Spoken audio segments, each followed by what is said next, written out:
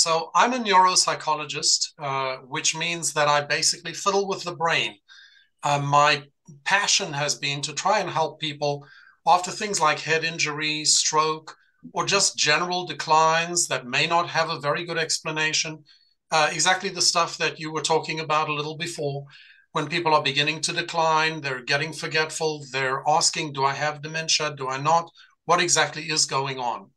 And, uh, you know, for a long time, there was so little that we could do for the brain. The brain was treated as it was talked about as this black box. You can't get in there, you can't look at it, and you can't fix it. How are you going to fix such a thing? Um, then we had brain mapping, which you showed earlier with the topography of that lady in the 70s having some decline. I do those brain maps. I can tell you that that brain map that you showed is dramatic. It's a dramatic transformation. And it takes months, years of very, very careful coordination of many different things to get the person to have that kind of improvement. So, what we know is that when the brain declines, there are a few things that decline, and it's not just the brain, it's the whole body. We have mitochondria sitting in the cells of our body and in the neurons of our brain. The more mitochondria you have, the better you function. In the mitochondria, which is referred to as the powerhouse of the cell, you have also ATP. That is the fuel of the powerhouse of the cell. Hmm. ATP is like the fuel that goes in your car. That is what we need in our brain. Adenosine triphosphate is the thing that makes the thing go. It makes the brain work. You also have another substance, cytochrome C oxidase. And I promise I'm going to be light on the science here, but I really do want folks to understand the science. And I want to also shed light on the sheer genius of David. Mm-hmm. So that's where I'm getting to. Okay. So you've got cytochrome C oxidase, which is the courier of the brain. It grabs the good, healthy electrons that come into your body, which are coming in through the oxygen you breathe, healthy foods that you're eating. You're taking electrons from that and you're binding them with the calcium, with the potassium, going into everywhere that it's needed and doing the job. So between these three things, the CCO, the ATP, and the mitochondria, you've got the entire mechanism of that self healing that Eugenia spoke about. The body can heal itself. It does, right? I mean, think about how many terrible things happen to people and they do seem to heal. And even in much earlier years when we had so much less in the way of medication and interventions, people healed from pretty bad injuries. Mm-hmm. But it's predicated upon your having all of the conditions that allow your tissue to heal. That is enough mitochondria that are powered enough by the ATP and also fired up by the CCO. Then we'll get to the stem cells, which is another dimension of this. So first, the first thing I want to share with everybody is that there's more than 30 years of solid research behind the power of photobiomodulation or photomodulation therapy, whichever you want to call it. So much so, there's a Harvard researcher by the name of Dr. Michael Hamblin. Um, do we have that uh, that little display I wanted to share with folks? Can you can you put it up yourself? Uh, Nate was going to share it with us. Okay, good. There we go. Thank you so much, Nate.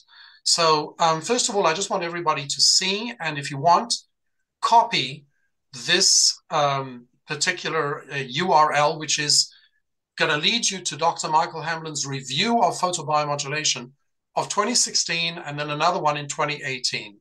In the first one, the 2016 review, he covers the science of photobiomodulation very much in detail.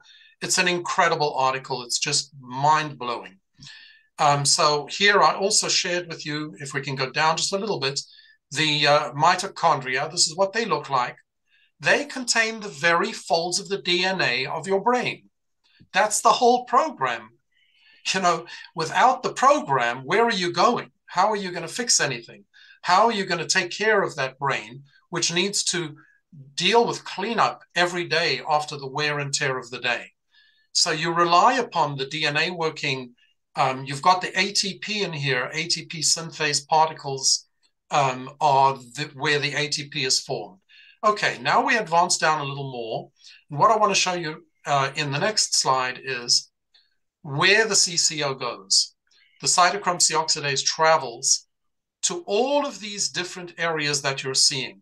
The right side in the green is plants. Okay, let's not worry about the plants. They seem to take care of themselves pretty well, but we need to take care of ourselves, right? So in the human body, look at all of these actions that the CCO does. You need to boost your CCO, right? And you need to boost your ATP. I think we're all in agreement on that. Down to the next slide.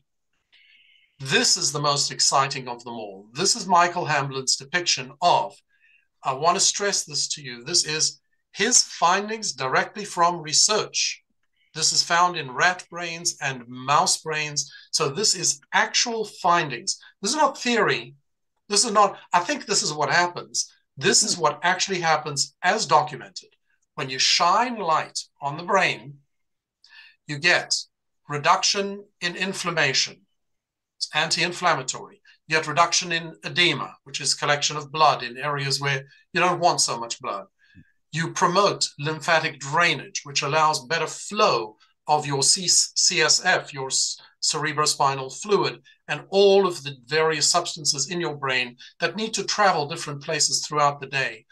You get increased blood flow. You get neuron progenitor cells, which help you make new neurons. Yes, we do need to make new neurons. The neurons of our brain are replaced every seven to eight months. If you don't replace them, you're limping along on ailing neurons like on crutches. Synaptogenesis is the formation of new memories. Neurotrophins are the things that you need as precursors to making the neurons. SOD, we know that word already. It's associated basically with health and cleanup, the antioxidants of the brain. Survivin is linked to the telomeres, which is how long are you going to keep your brain? How long are you going to keep your DNA working for you? That's linked to the survivin. Anti-apoptosis is to stop the death of cells. Apoptosis is when the brain basically prunes away the dying cells. So all of these good things are happening to you when you get light into the brain, right? Okay, so now we go down a little more and I want to show you how I worked in my office. I still work in my office with this kind of stuff, expensive equipment on which I've you spent tens of thousands of dollars for each device, either probes or arrays, like in the bottom picture, things that you apply to people's bodies. They come in, they pay for uh, all this time that's involved of the practitioners to administer this to them. And they have to come frequently during the week for quite a few weeks or months.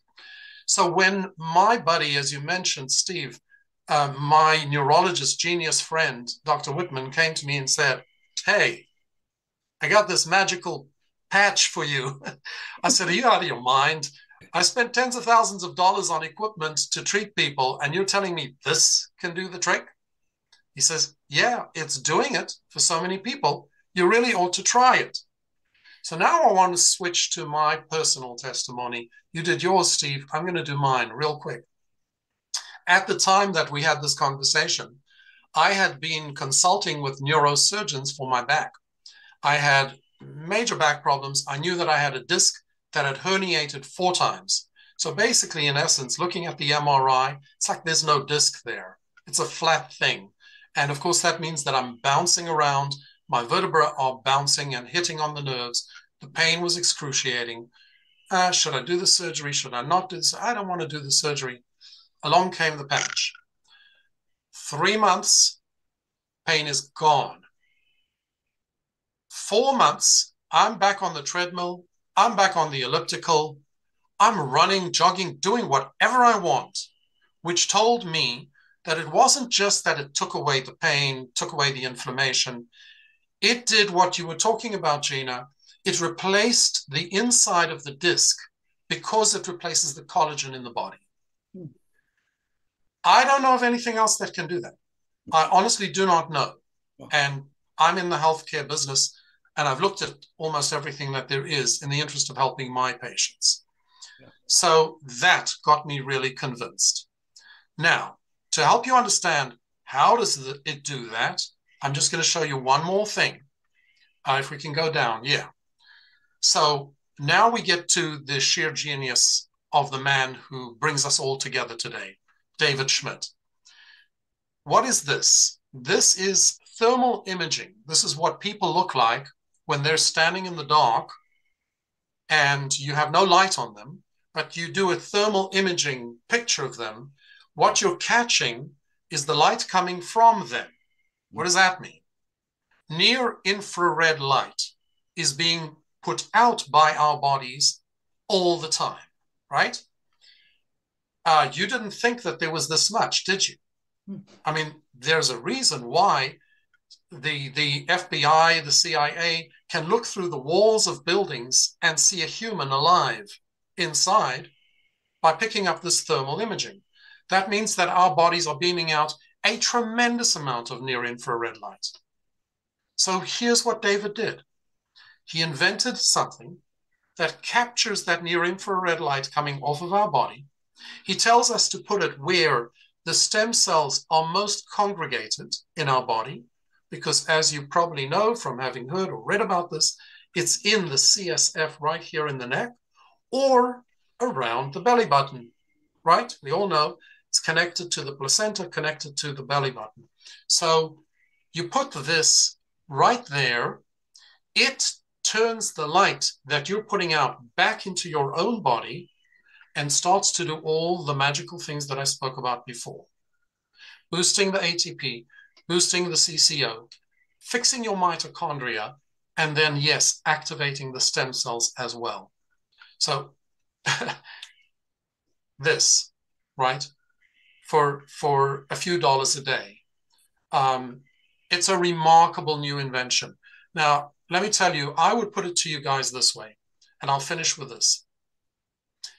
Many of us have had the dream of coming up with something, an invention, that would be such a hit that it could make a ton of money, right? And if we didn't have that kind of creativity, or we didn't think we could ever invent such a thing, we dreamed about having our best buddy or our brother say to us, you know what, I've come up with something. It's a winner. Come with me, ride my coattails. David Schmidt has come to us all and he has said, I want you to ride with me on this. He's come up with devices and things that basically work with your body naturally. So it's a total do no harm thing.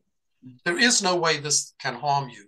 It's simply supplementing the action going on in your body and boosting it so that your body can heal and protect and look after itself in the years to come. I want to ride those coattails. Hey, that is amazing. Yes. Hey, thanks, Dr. Newman. Uh, I really, one of the couple of things, I'm going to ask you one more question, but one of the biggest things that I love about this is that where can a pro athlete, a flight attendant be teamed up with a doctor such as Dr. Newman and have these kind of relationships right. and partnerships? And think about when people do this, everyone brings something different to the table and we're all going to win together and make this happen. We're all just getting started. I mean, we've only been involved for 30 months. Company's been around for 20 years, which I like because it's been going on paid everybody for 20 years. You were going to say something. Yeah, absolutely. I want to I want to just echo what you're saying, Steve. Uh, it, when when you're called a brand partner for coming into this company, it really is meant with total sincerity there are so many things out there that are offering people the opportunity to make money. Where do you get this much training for free? Mm. Where do you get wall to wall wraparound support? There are so many educational forums like this one that we're holding tonight going on all week, every week throughout the year. You have uh, the spirit of wanting to help. The reason I'm here is because I want to share what I understand about this and how special it is, because there are folks out there who don't work with photobiomodulation every day. I want to share with them what I've got so it helps them be better at what they do. We all want to do this for each other. And that's the other delight of coming into LifeWave is that we're brand partners with a ton of partners, and it's a lot of fun.